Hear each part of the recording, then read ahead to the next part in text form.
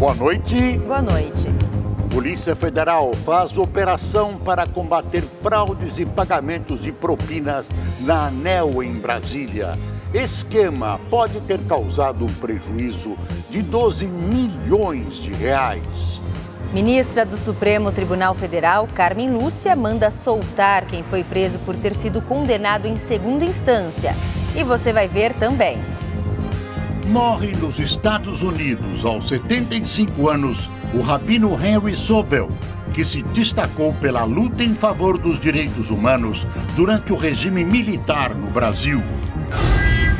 Laudo da polícia aponta mistura de cocaína em bebida oferecida a moradores de rua que morreram em Barueri. Arsenal de guerra é apreendido em casa na zona leste de São Paulo. A polícia acredita que os sete fuzis, oito pistolas e três metralhadoras antiaéreas são do PCC.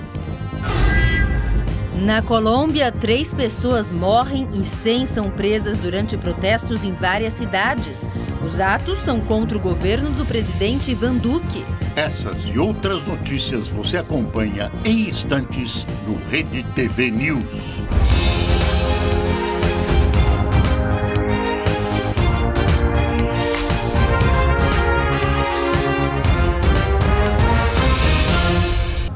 Polícia Federal realizou hoje uma operação para combater fraudes da Agência Nacional de Energia Elétrica, a ANEL.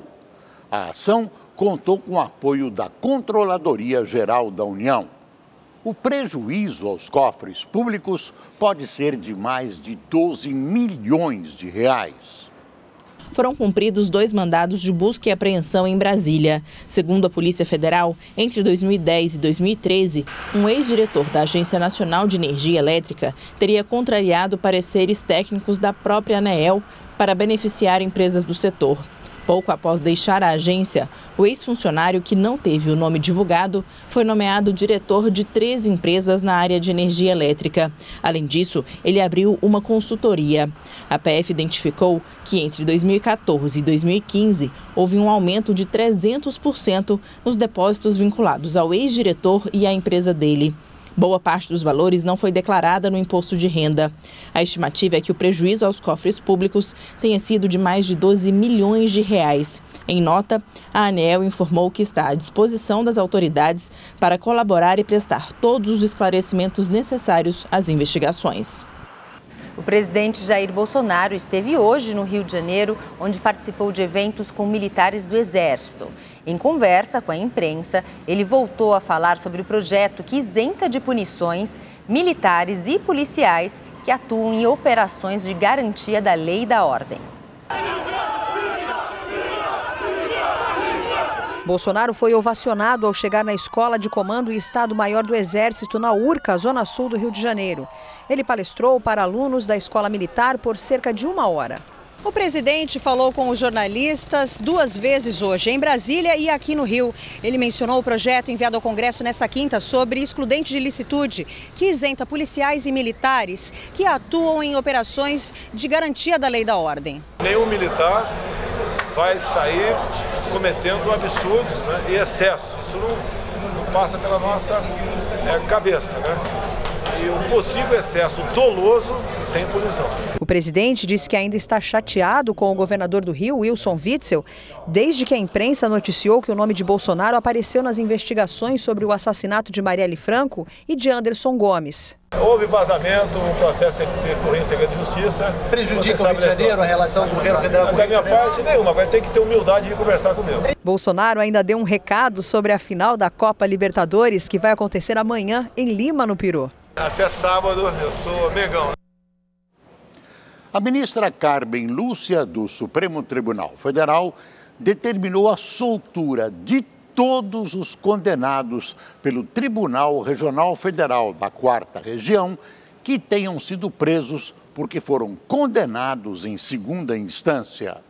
A ministra Carmen Lúcia é a relatora do habeas corpus que questiona a súmula do TRF-4 que determinava a prisão automática de réus condenados em segunda instância. No início do mês, o plenário do Supremo Tribunal Federal considerou a súmula inconstitucional e proibiu a execução antecipada da pena. Por isso, a ministra determinou que todos aqueles que foram presos por causa da condenação em segunda instância devem ser soltos. Ficarão detidos apenas os condenados que tenham mandado de prisão preventiva em outros processos. O TRF4 é o tribunal responsável pelo julgamento dos recursos feitos pelos réus da Operação Lava Jato em Curitiba. Vários condenados por causa do esquema de corrupção na Petrobras já foram soltos por causa da mudança de entendimento do STF, entre eles o ex-presidente Lula. Liberou geral. O crime está solto.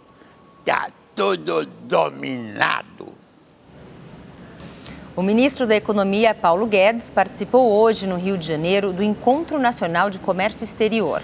Durante o evento, Guedes se mostrou otimista com a projeção de crescimento para o país em 2020 e criticou os encargos trabalhistas.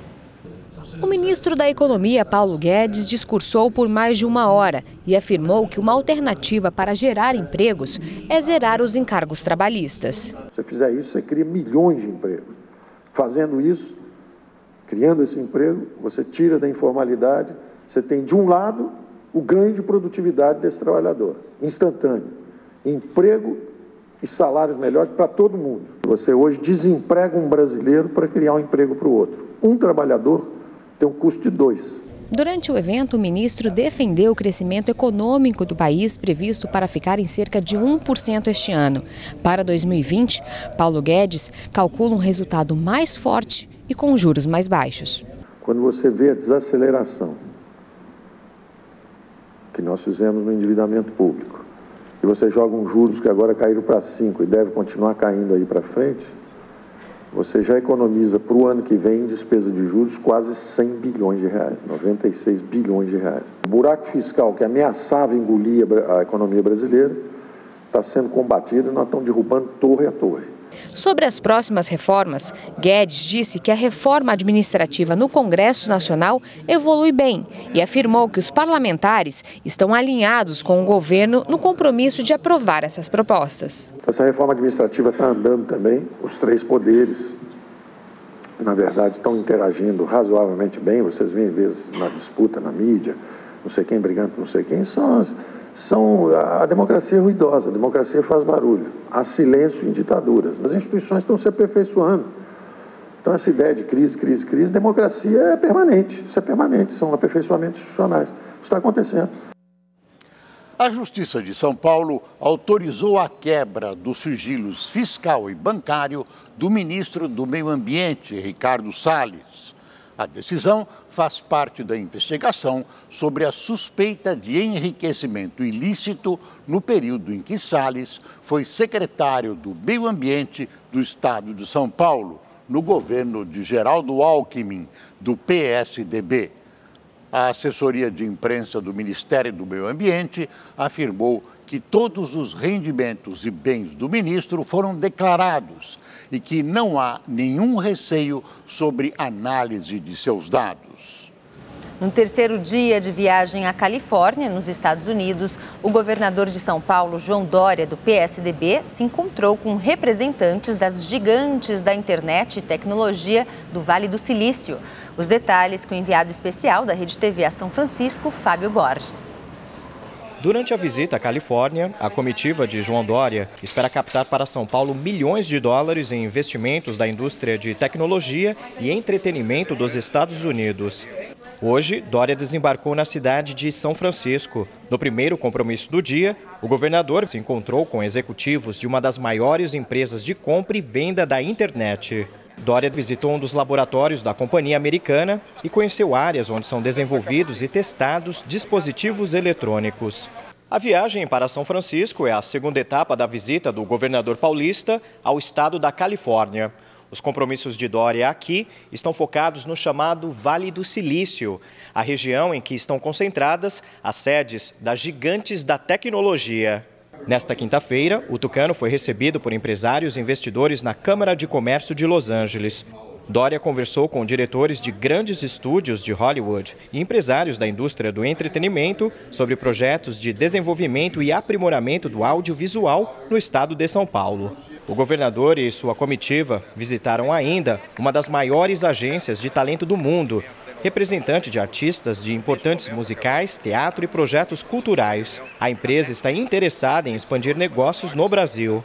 É a primeira vez que um governo, seja estadual, seja federal, eh, tem uma iniciativa desta natureza. Nunca foram visitados por ninguém de governo eh, brasileiro, nem municipal, nem estadual, nem federal, receberam isso muito bem, eh, porque compreendem a importância da América Latina, o Brasil no contexto da América Latina e São Paulo dentro deste contexto. Amanhã, Dória continua em São Francisco, onde terá mais reuniões para a captação de investimentos da indústria de tecnologia. No domingo, o governador embarca de volta para o Brasil. Fábio Borges, de São Francisco, para o Rede TV News. Foram liberados hoje pela Caixa Econômica Federal os saques de até 500 reais do Fundo de Garantia para não correntistas do banco que nasceram entre junho e julho. É o quarto lote de um total de sete que pagarão ao todo cerca de 25 bilhões de reais para mais de 60 milhões de trabalhadores. Os saques para essa etapa estarão liberados a partir de amanhã. A data limite para todos os trabalhadores que queiram fazer o saque é dia 31 de março de 2020. A prévia de inflação oficial do país subiu 0,14% em novembro, a menor taxa para o mês desde 1998. O Índice Nacional de Preços ao Consumidor Amplo, 15, mostra uma aceleração em relação a outubro, segundo divulgação de hoje do Instituto Brasileiro de Geografia e Estatística. Em 12 meses, o IPCA 15 desacelerou para 2,67%, indo ainda mais abaixo do piso da meta para o ano. A aceleração em novembro foi puxada pela alta nos preços de combustíveis e carnes. Segundo a CNI, a Confederação Nacional da Indústria, a utilização da capacidade instalada nas indústrias do país chegou a 70%. É o maior índice dos últimos cinco anos. Em novembro de 2014, esse número foi de 73%. Esse aumento sinaliza uma melhora na recuperação do setor. Segundo o IBGE, a produção industrial também teve uma pequena melhora e apresentou uma alta de 0,3% neste terceiro trimestre. Foi o primeiro avanço da produção em um ano. Chegou o fim do ano e com ele chega também o 13º para mais de 82 milhões de brasileiros.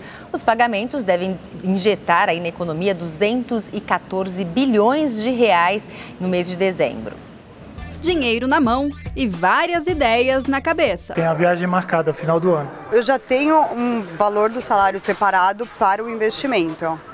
E aí os outros é controlando na tabelinha. O 13º salário é um direito de funcionários públicos e dos trabalhadores contratados com carteira assinada que tenham trabalhado por pelo menos 15 dias durante o ano e não tenham sido demitidos por justa causa. Para quem já programou o que fazer com salário extra, mas ainda não recebeu e está ansioso, calma. As empresas têm até o dia 30 de novembro para pagar a primeira parcela e a segunda deve ser paga até o dia 20 de dezembro. Aí é só saber usar com moderação. É muito importante usar esse dinheiro com cautela, saber que, que ele é um dinheiro que precisa ser contado no orçamento, já que a gente tem a garantia de que ele vai vir, vai vir né? É, mas nunca ser gastado de maneira é, é muito rápida e nem com qualquer coisa, sempre focado onde vai gastar. Manobras que os brasileiros sabem de cor. A primeira é para pagar dívida e tal, e a segunda já é para comprar presente de Natal reflexo no comércio, que fica bem mais aquecido nesse período. As nossas expectativas são excelentes, de 8 a 10% a mais que o ano passado nas compras compra, isso é venda real. De acordo com a Confederação Nacional do Comércio de Bens, Serviços e Turismo, o varejo no Brasil prevê crescimento de 4,8% em relação ao Natal de 2018, arrecadando quase 36 bilhões de reais. Os aposentados e pensionistas do INSS também vão aproveitar o dinheiro extra no fim do ano com a segunda parcela do 13º. A primeira foi paga em agosto e a próxima será paga até 6 de dezembro. Nós temos os, alguns impostos de IPVA para o início do ano, então nós vamos estar tá reservando essa segunda parcela para estar tá pagando, quitando esses débitos. E nós vamos conversar agora com a nossa comentarista de economia, Salete Lemos, para saber a importância desse dinheirinho no bolso dos brasileiros e no, no crescimento da economia do país. Boa noite, Salete. Boa noite, Boris, Gabriela.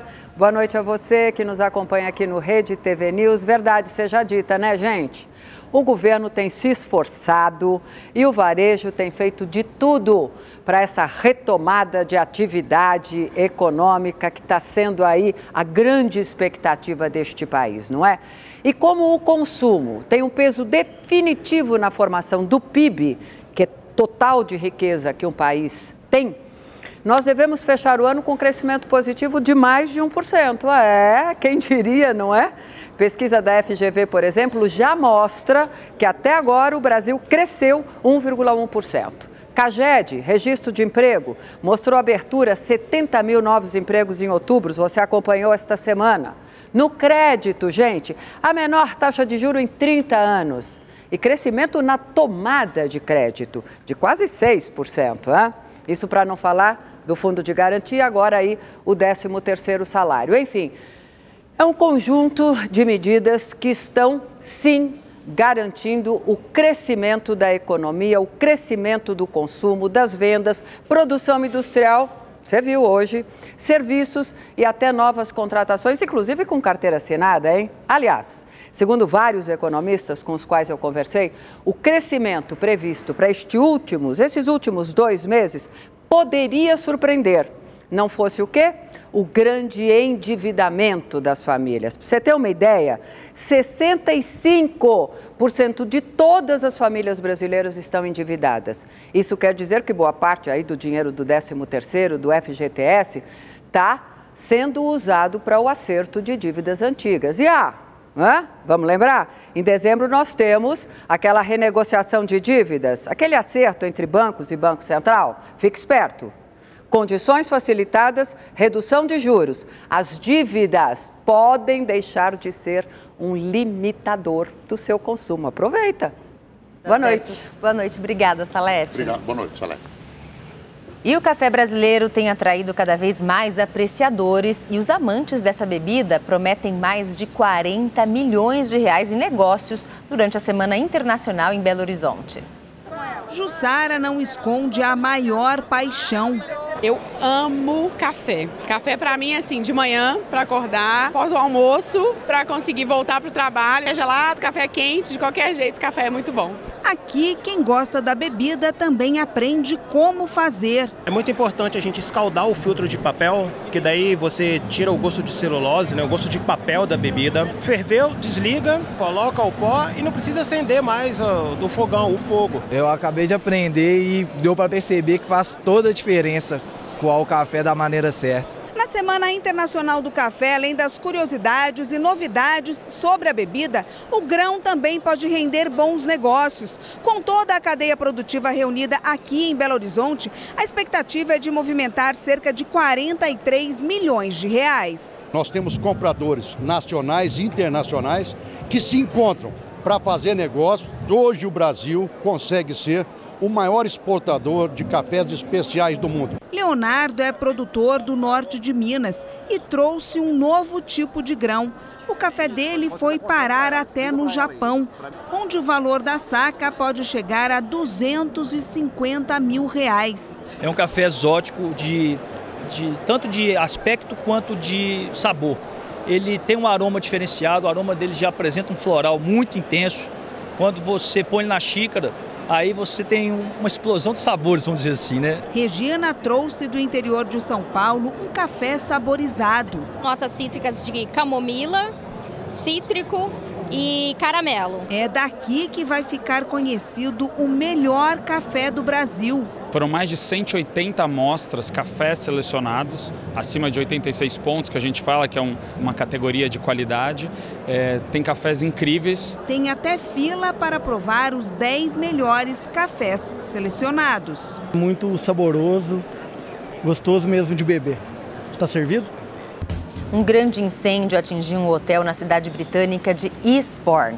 É, o fogo começou no porão e 60 bombeiros e 12 viaturas foram mobilizadas para conter as chamas que atingiram todos os andares da construção de mais de 160 anos. Cerca de 130 pessoas estavam no hotel no momento do incêndio. O apresentador Gugu Liberato continua internado na UTI de um hospital em Orlando, nos Estados Unidos o estado de saúde dele é considerado grave. Hoje, um médico brasileiro foi chamado pela família e viajou para Orlando. Ele deve chegar ainda hoje. Ontem, familiares do apresentador também foram aos Estados Unidos. Segundo a assessoria de imprensa do apresentador, Gugu Liberato sofreu um acidente em casa na quarta-feira. Ele foi levado ao hospital e segue internado sem alteração no quadro clínico. Um boletim médico deve ser divulgado ainda hoje. Um arsenal foi apreendido hoje na zona leste de São Paulo. A polícia acredita que as armas são de uma facção criminosa e foram usadas em ataques a carros fortes, empresas de valores e assaltos a caixas eletrônicos. Os sete fuzis, oito pistolas e três metralhadoras antiaéreas calibre .50 estavam atrás de uma parede no banheiro desta casa, no Itaim Paulista, zona leste da cidade. Também foram encontradas munições pesadas, que podem ser usadas no abate de um helicóptero, por exemplo. Segundo a polícia, o armamento está avaliado em um milhão e meio de reais. Um homem de 39 anos foi preso e vai responder por porte de arma de uso restrito e associação à organização criminosa. A Polícia Militar de Pernambuco e a Polícia Federal, também de Pernambuco, encontraram quase 8 mil pés de maconha na zona rural do município de Santa Maria da Boa Vista, no sertão do estado. Com essa quantidade de mudas, daria para fazer mais de duas toneladas e meia da droga. Toda a maconha encontrada foi incinerada no local. Na plantação, a polícia também encontrou uma bomba d'água que servia para puxar a água do rio São Francisco e fazer a irrigação das plantas. O maquinário também foi destruído. Ninguém foi preso. Quase uma tonelada de maconha foi apreendida em Minas Gerais. A droga estava escondida em uma carreta que transportava óleo de soja. O motorista foi abordado pela Polícia Rodoviária Federal na madrugada de hoje, quando passava pela BR-262 em Joatuba, na região metropolitana de Belo Horizonte. Os policiais encontraram um fundo falso com 1.600 tabletes da droga. Dois homens foram presos.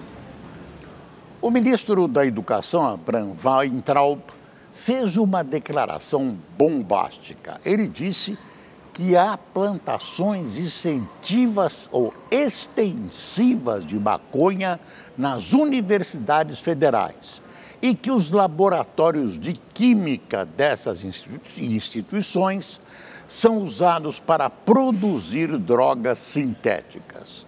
Seria muito interessante que o ministro informasse onde isso ocorre e que providências o governo tomou a respeito. Após quatro anos, o zelador que matou o marido da amante na zona oeste de São Paulo foi condenado pelo crime. Francisco da Costa Silva, atualmente com 35 anos, recebeu pena de oito anos de prisão em regime semiaberto. Ele matou a tiros no dia 25 de abril de 2015 o motoboy Júlio César Galvão, de 31 anos. Imagens de circuito de segurança mostraram Júlio correndo e Francisco atrás com uma arma. Logo em seguida, Francisco foge. Equipes de resgate tentaram salvar Júlio ainda na calçada, mas ele não resistiu.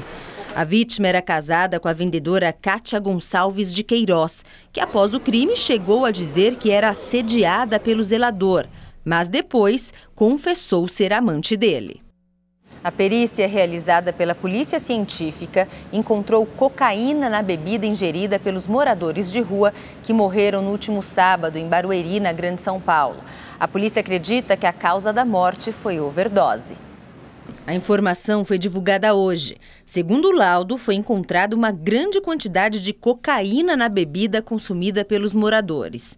O Instituto de Criminalística nos disse que após vários, eh, várias análises da, do conteúdo do líquido, foram encontrados é, doses cavalares de cocaína né, na bebida, além do álcool etílico, que é comum a, a qualquer bebida alcoólica. É mortal porque a literatura médica, segundo eles me explicaram, afirma que para um, um, ser humano comum, adulto, que não seja viciado, a dose letal de cocaína é de 1,2 gramas. É, no caso da, da, do que foi detectado na bebida, se nós dividirmos é, o que é, sobrou da bebida, né, ou seja, é, na realidade o que é, faltava da bebida no frasco, né, e dividirmos pela quantidade de pessoas que ingeriram, dá 1,5 gramas. Segundo a polícia, Vinícius Sales, um dos sobreviventes, disse aos investigadores que encontrou a bebida há duas semanas e que deixou a garrafa escondida em um albergue. Vinícius foi preso depois que mudou a versão de seu depoimento por duas vezes.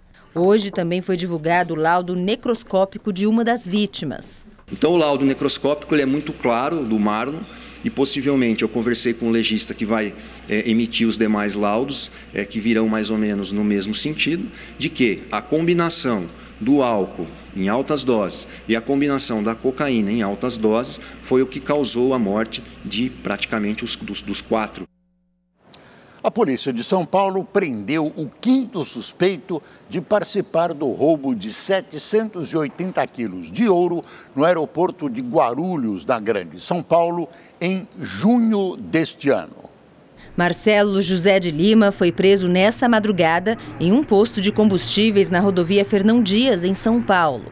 Segundo a polícia, ele tem passagens por roubo a carro forte e ostentava uma vida de luxo. Marcelo participou do assalto no aeroporto de Cumbica, em Guarulhos, no dia 25 de julho.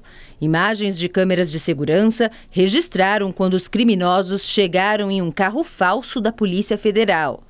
Armados com fuzis e encapuzados, eles renderam os funcionários e colocaram um carregamento de ouro na picape.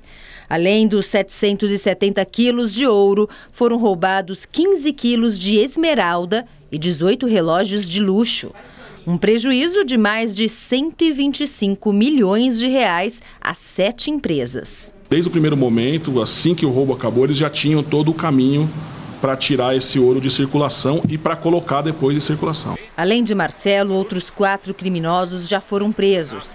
Essas imagens mostram o grupo após uma reunião em um restaurante em São Caetano do Sul, no ABC Paulista, para planejar o roubo. Pelo menos dois bandidos são procurados pela polícia.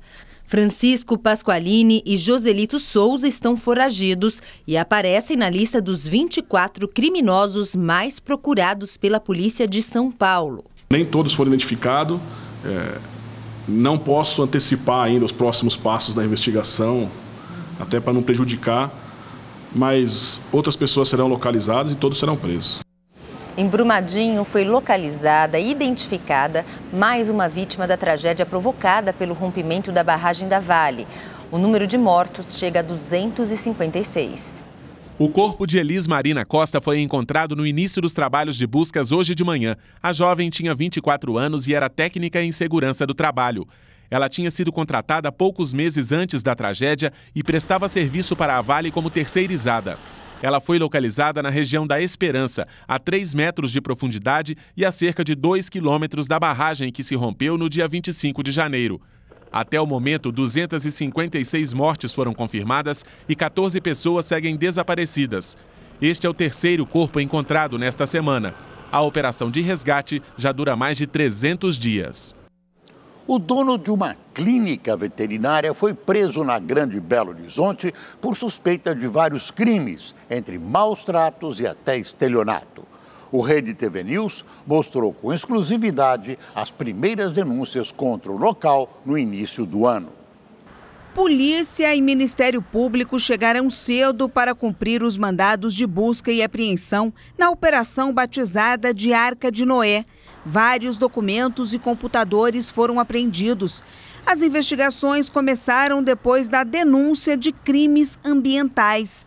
A clínica Animed descartava o lixo de forma irregular, misturando materiais comuns com os de uso médico. Durante os levantamentos foram comprovados outros crimes, como maus tratos, reutilização de próteses e estelionato. De acordo com a polícia, o casal dono da clínica congelava os animais mortos para continuar cobrando de seus donos os custos de internação e do tratamento. Constatou-se que havia utilização de medicação própria para seres humanos e proibida para animais, que é a anfotericina 3, e que era administrada para alguns animais. As pessoas eram obrigadas a pagar valores totalmente impróprios para um tratamento, assinavam promissórias em branco, o estado de desespero pelo seu animal. Durante todo o dia foi grande a movimentação de donos de animais que foram surpreendidos com a notícia. Vários cães foram resgatados e levados para outras clínicas. Porque o diagnóstico foi dado aqui, vai ter que ser verificado, porque eu não acredito mais não. A gente não sabia o que, que acontecia nos bastidores, porque não tinha acesso lá dentro. Agora a gente está chocado. O médico veterinário Marcelo Dairel saiu preso com o rosto coberto e teve o registro profissional suspenso. A mulher dele, Franciele Santos, está foragida. O lugar foi interditado. Em janeiro, Rede TV News mostrou com exclusividade denúncias de clientes contra o casal. Na época, o Leonardo e a Lorena falaram dos supostos abusos quando internaram o cachorro na Animed. Colocaram medo danado na gente, ou ele teria doença do carrapato e que o cachorro deveria estar internado até que o resultado desses exames saíssem. Nós autorizamos a internação e custa 250 reais a diária dessa internação, que eles nos indicaram um remédio manipulado. E esse remédio manipulado, pelo preço da clínica, custava 550 reais. Quando eu peguei essa receita para fazer numa outra farmácia que eu conhecia, o resultado foi que o remédio era 105 reais. Eu falei, Lorena, vamos tirar o cachorro daí. O Conselho Regional de Veterinária informou que já foram abertos três processos éticos contra a Animed este ano. Em nota, a clínica disse que está surpresa com a operação e que vai analisar as denúncias para se pronunciar. Veja agora como fica o tempo em todo o Brasil neste final de semana. Uma frente fria vai provocar instabilidades na faixa leste do sul do Brasil. Em Florianópolis tem previsão de chuva sábado à tarde e no domingo, quando a temperatura não passa dos 23 graus. Em Curitiba, o clima é o mesmo e a madrugada de sábado para domingo vai ser bastante fria, mínima de 13 graus apenas e a máxima não passa dos 19. Virada no tempo em São Paulo, depois do calorão de 28 graus no sábado, no domingo o tempo fecha e a temperatura cai, não passa dos 22 graus. E a semana começa fria. Na segunda-feira, a mínima é de apenas 15 graus. E as chuvas ainda vão cair sobre todo o sudeste do Brasil, principalmente na faixa litorânea. Em Vitória, finalmente a chuva diminui, o sol reaparece, mas pode ter chuva à tarde. No Rio de Janeiro, sol e chuva a qualquer hora mas continua quente, faz 32 graus. Previsão de pancadas também para as capitais BH e Cuiabá, onde a máxima chega aos 33 graus. E as nuvens de chuva vão se espalhar por quase todo o Brasil. O tempo fica seco apenas entre áreas do sul do Mato Grosso do Sul e o interior gaúcho. E também no Nordeste, tempo firme por toda a região e vai dar praia. Em Fortaleza e Salvador, sábado de sol e calor de 32 graus. O sol brilha forte em Campo Grande, máxima de 35 graus. Mesma coisa em Boa Vista, mas por lá o tempo fica fechado e com chuva forte. Neste domingo, a população de Hong Kong vai às urnas em meio a uma onda de protestos que sacodem o território autônomo chinês desde março deste ano. O pleito é visto com bastante atenção pelo governo e por manifestantes, embora seja para a eleição de conselhos de distritos, órgãos consultivos para questões locais. De acordo com este cientista político, pode servir como um termômetro do apoio que a oposição e os protestos têm da população. As eleições distritais são a única em que é adotado o voto direto. O direito de eleger o chefe de governo de Hong Kong é uma das principais demandas dos manifestantes. Hoje, mais estudantes que resistiam ao cerco policial à Universidade Politécnica de Hong Kong se renderam. Somaram-se a mil que também se entregaram ou foram capturados em dias anteriores. Os maiores de idade foram presos. Um número menor de manifestantes continua na universidade. Ainda há confrontos em outros pontos da cidade. O comissário de polícia do território disse que as forças de segurança não hesitarão em reagir contra quem tentar impedir a votação. Em entrevista a uma emissora americana por telefone, o presidente americano Donald Trump afirmou que o líder chinês Xi Jinping só não interveio em Hong Kong porque ele pediu. Pelo menos três pessoas morreram e quase 100 foram detidas durante os protestos em várias cidades da Colômbia. Os atos são contra o governo do presidente Ivan Duque. Bogotá amanheceu com marcas do vandalismo de ontem. Esta estação de metrô teve os vidros quebrados, um portão derrubado e computadores e cadeiras destruídos. Segundo o governo, o prejuízo na cidade é de cerca de 24 milhões de reais. O policiamento na capital colombiana continua reforçado.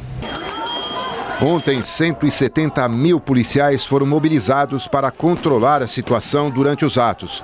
Segundo autoridades, mais de 200 mil pessoas participaram das manifestações em 350 cidades. Em Bogotá, os protestos começaram pacíficos, mas no fim do dia houve confronto entre policiais e manifestantes que atiraram objetos contra os agentes. As forças de segurança reagiram com jatos d'água e bombas de gás lacrimogênio. Alguns ativistas encapuzados também foram flagrados vandalizando o patrimônio público. O presidente Ivan Duque enfrenta a pior crise de popularidade desde que assumiu o cargo há um ano e três meses. Em pronunciamento, ele disse que está ouvindo o povo e que o diálogo é prioridade para seu governo. Los estamos escuchando. No aniversário de 76 anos da independência do Líbano, manifestantes voltaram às ruas para protestar contra o governo do país. Milhares de manifestantes se reuniram na capital Beirute, carregando bandeiras do Líbano. Eles também cantaram o hino do país. Várias marchas foram realizadas pela cidade. Um grande grupo de pessoas se reuniu na Praça dos Mártires, próximo à sede do governo. No local, uma estátua de um punho com a palavra revolução foi levantada na noite de hoje, após um outro monumento idêntico ser queimado por vândalos de manhã. A imagem se tornou símbolo dos protestos que começaram em outubro. Os manifestantes acusam os líderes políticos de corrupção e de levarem o país à maior crise econômica dos últimos anos. No Iraque, mais 13 manifestantes morreram e cerca de 100 ficaram feridos na onda de protestos e violência que já deixou mais de 300 vítimas fatais em quase dois meses. Autoridades dizem que uma das vítimas fatais foi atingida por tiros. Outras duas por bombas de gás lacrimogênio. Horas antes, numa rua em que há um centro cultural, morreram mais de 10 pessoas em confrontos e brigas entre diversos grupos civis. Os manifestantes permanecem há dias em três praças e três pontes de Bagdá, cercados pelas forças de segurança. Protestam contra o governo, que acusam de corrupto e de sucatear serviços públicos. O corpo de Henry Sobel rabino emérito da congregação israelita paulista, conhecido por sua luta em favor dos direitos humanos durante o regime militar, será enterrado domingo em Nova Jersey, nos Estados Unidos. A morte do rabino, de 75 anos, ocorreu por complicações de um câncer nos pulmões. Lideranças israelitas em São Paulo falaram da morte e da importância do rabino para a comunidade judaica brasileira defendeu a liberdade religiosa não somente da comunidade judaica, mas de todas as religiões. Henry Isaac Sobel nasceu em Portugal. Ainda na infância, foi morar nos Estados Unidos. Na década de 70, mudou-se para o Brasil, onde morou durante cerca de 40 anos. O rabino ficou conhecido ao não permitir que o corpo do jornalista Vladimir Herzog, morto nas dependências do DOI-COD, fosse sepultado na ala reservada aos suicidas, no cemitério israelita do Butantã, aqui em São Paulo, contrariando a versão do regime militar. O processo de redemocratização do Brasil ele foi muito ativo. Naquele momento, o Rabino Sobel mostrou as suas qualidades na defesa dos direitos humanos, e na defesa da verdade e da democracia. E uma pessoa que prezava sempre o diálogo como forma de negociação. Jamais qualquer outro tipo de atitude que não o diálogo até cansar. Nos anos seguintes, ao lado de Dom Paulo Evaristo Arnes, arcebispo de São Paulo, ampliou sua luta pelos direitos humanos. Sobel permaneceu na congregação israelita paulista até outubro de 2007 quando se afastou formalmente da congregação e voltou aos Estados Unidos. Antes, o rabino, em viagem aos Estados Unidos, foi detido após furtar gravatas em uma loja. Sobel alegou estar sob efeito de remédios. Sobel era um homem muito à frente de seu tempo. Tinha muito mais virtudes do que defeitos. A democracia no país deve muito a esse brasileiro por adoção. Justiça, coragem, generosidade, cultura são palavras que podem ajudar a definir essa figura singular. Homens como Sobel estão fazendo falta no Brasil. E a menos de 24 horas do jogo mais importante do ano para o Flamengo, o Rio conta os minutos para a decisão da Libertadores.